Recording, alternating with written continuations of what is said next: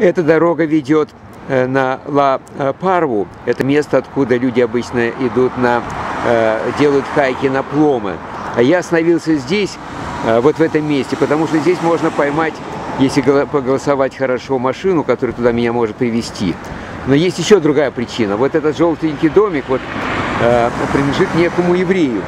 И узнал я об этом совершенно случайно. Значит, сперва я здесь побеседовал с одним мужиком, велосипедистом, который оказался немцем. Он здесь живет 6 лет, вот, и никак не может здесь устроиться. За 6 лет он поменял 5 работ, очень интеллигентный человек, э, выглядит человек, вот, и э, он компьютер-инженер. Собирается вернуться, э, собирается вернуться в Германию. Там у него, говорит, никаких проблем с работой нет. Пока мы с ним беседовали, вышел из соседнего дома, вот тот, вот здесь, вот, вот по-моему, вот этот дом, вот отсюда, только он, так сказать, немножко там за деревьями спрятался, вышел очень пожилой, красивый мужчина и говорит на хорошем английском языке тому, что без шлема нельзя кататься на велосипеде, потому что, так сказать, это незаконно в Чили. А тот говорит, я, говорит, не чилиец, поэтому мне, говорит, можно. Но мы с ним расстались.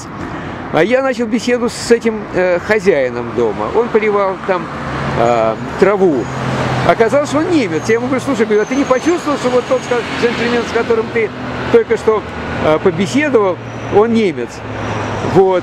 Он говорит, нет, не почувствовал. Ну и мы с ним разговорились. Оказывается, так сказать, он здесь уже 20 лет на пенсии, он 34 -го года рождения.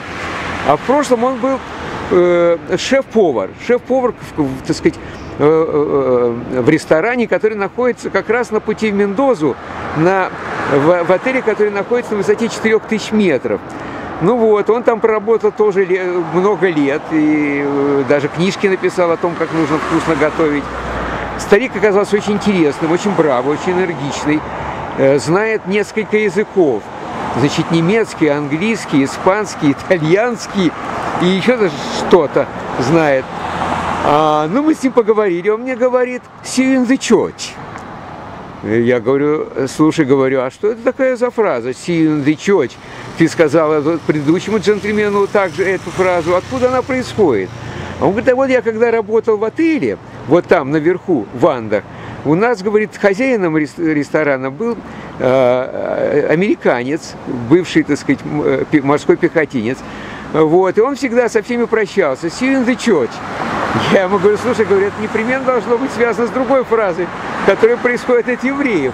Next year in Jerusalem. Он говорит, может быть, но американец был русский. Американец, так сказать, это был американец. Я говорю, ну, может быть, он, говорит, был американский еврей. Но этот старик живо на это отреагировал и говорит, вот, говорит, я не знаю, какое у тебя отношение к еврейству, но вот в этом, говорит, желтеньком доме, вот здесь, говорит, хозяин его еврей, говорит, с таким толстым пузом и в кипе. Такого особой симпатии он к нему не выразил. Вот. А потом мы, значит, с ним стали прощаться. Говорю, ну ладно, я буду в ресторане, может быть, от тебя кому-то привет передам.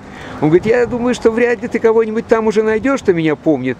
Но имя дал, Эрик Шуман. Я говорю, ну Шуман это просто запомнить. Вот имя Эрик это тоже несложно.